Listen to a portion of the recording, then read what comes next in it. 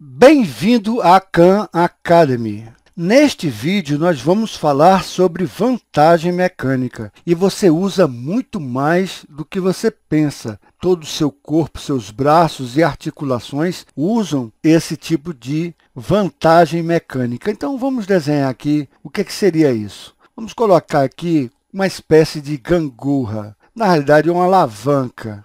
E vamos colocar um peso aqui de 10 newtons. Você tem um peso de 10 newtons e você quer levantar esse peso de 10 newtons. Como é que você pode colocar uma força menor para levantar um peso maior? Porque aqui você tem o peso de 10 newtons, isso não vai mudar. É a força gravitacional que está agindo sobre esse bloco. Só que eu quero levantar ele de certa forma, eu exagerei aqui um pouco a figura, mas eu quero botar uma força menor, eu disponho de uma força menor. Então, qual é o segredo? Qual é a mágica?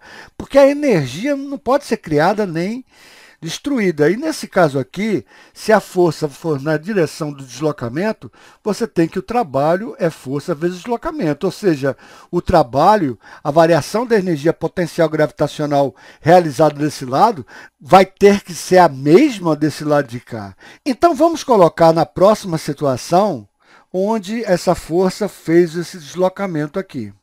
Tá? Então, a força fez o deslocamento e o bloco agora está nessa posição. Vamos desenhar o bloco agora em amarelo. Os 10 newtons está nessa posição, ele aumentou essa distância, vamos chamar essa distância do peso que eu quero levantar. E essa distância daqui, vamos chamar essa distância da distância que a força foi aplicada. Como a gente não pode criar energia do nada, nem a gente pode realizar um trabalho com uma força menor e levantar um peso maior do que a força que eu vou aplicar pelo mesmo deslocamento, nós estamos vendo que os deslocamentos não são iguais. Como é que a gente pode provar isso? Aqui é o ângulo θ, aqui é o ângulo θ. Vamos dar valores aqui. Vamos supor que esse comprimento seja de 2 para 1. Pode ser 2 metros para 1 metro, 2 quilômetros para 1 quilômetro. Então, você vai ter o seguinte, a tangente de θ, vista por esse lado de cá, vai ser cateto oposto sobre cateto adjacente. E desse lado de cá, você tem que... Esse θ é igual a esse θ, né? Ângulos alternos internos. Nós temos a distância deslocada pelo peso sobre 1. E essas coisas são iguais. Então, df sobre 2 é igual a dp, né? Dp sobre 1 é dp. Então, a distância da força é duas vezes dp, ou seja, eu posso colocar metade da força. Vamos ver se foi metade da força? Primeiro que os trabalhos são iguais. Então, força vezes o deslocamento da força vai ter que ser igual ao peso vezes o deslocamento do peso, concorda? Então, no lugar do deslocamento da força, eu posso colocar duas vezes o deslocamento do peso. Então, força vezes duas vezes o deslocamento do peso é igual ao peso vezes o deslocamento do peso. Deslocamento do peso eu posso simplificar com o deslocamento do peso e eu vou ter que a força vai ser igual ao peso sobre 2. Então, eu apliquei uma força duas vezes menor para levantar um peso duas vezes maior, mas o segredo é que o deslocamento realizado pela força foi duas vezes o deslocamento realizado pelo peso.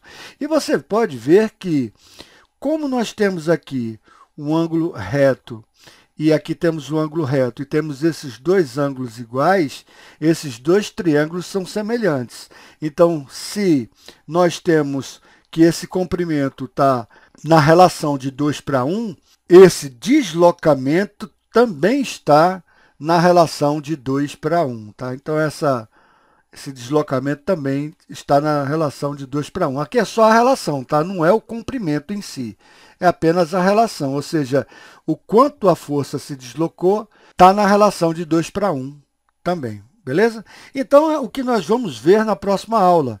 Nós vamos ver momento. E se você quiser que haja equilíbrio, nós temos que o momento tem que ser zero. Por exemplo, você tem aqui o ponto fulcral, ou seja, o ponto de centro, o ponto onde está apresentando o fulcro. Você tem uma força, vamos chamar F1, e você tem essa distância, vamos chamar D1. Você tem outra força, F2, você vai ter uma distância ao ponto fulcral D2.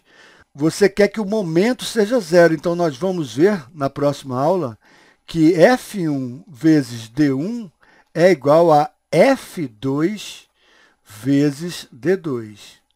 Então, aqui você tem o momento sendo igual a zero, ou seja, ela está em equilíbrio. Agora, você poderia simplesmente querer rotacionar isso. Tá? Então, vamos colocar aqui um ponto, um ponto pelo qual essa barra giraria, e eu colocaria uma força para fazer com que ele se deslocasse no sentido anti-horário. Então, vê, aqui está no sentido anti-horário.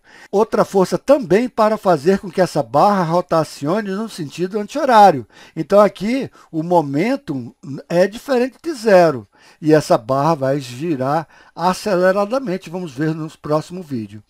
Para que haja equilíbrio, o momento tem que ser zero. Então, essa força vezes a distância que ela está do fulcro, sendo aplicada, quando for igual a essa força vezes a distância que ela está sendo aplicada do fulcro, aí nós não temos giro nem no sentido horário, nem no sentido anti-horário, elas estão em equilíbrio. Embora a soma das forças, você sabe que as duas forças então, estão empurrando para baixo.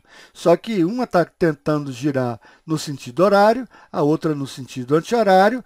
E nesse caso, como no exemplo anterior, você tem uma força maior, só que a distância para o ponto do fulcro é uma distância menor.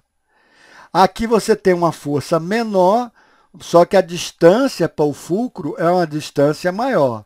Então, quando você for multiplicar uma força menor vezes uma distância maior, vai ser igual a uma força maior vezes uma distância menor. E este foi o segredo que a gente utilizou para levantar um peso utilizando uma força menor. A gente usou uma força menor, mas usamos um deslocamento maior.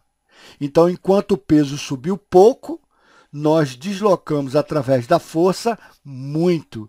E aí você tem trabalhos iguais, não houve violação da conservação de energia. Então é isso, pessoal. Faça o curso da Khan Academy e até o próximo vídeo.